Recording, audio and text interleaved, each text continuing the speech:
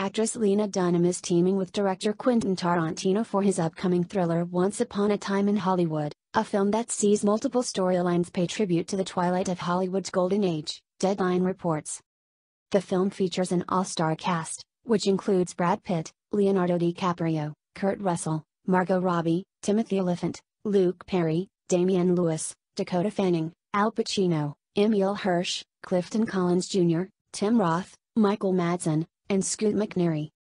The film follows, according to IMDb, a faded TV actor and his stunt double embark on an odyssey to make a name for themselves in the film industry during the helter-skelter reign of terror in 1969 Los Angeles.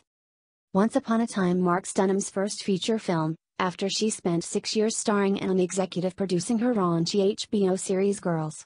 It also marks Tarantino's first film without his longtime executive producer, Harvey Weinstein, who's facing predatory sexual assault charges, since Tarantino's acclaimed cult classic Reservoir Dogs.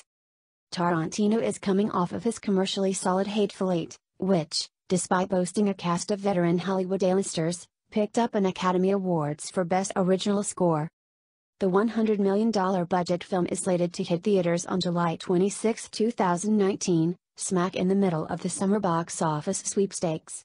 Tarantino's project will open in a head-to-head with the Dwayne Johnson starring spin-off from the Fast and Furious franchise Hobbs and Shaw.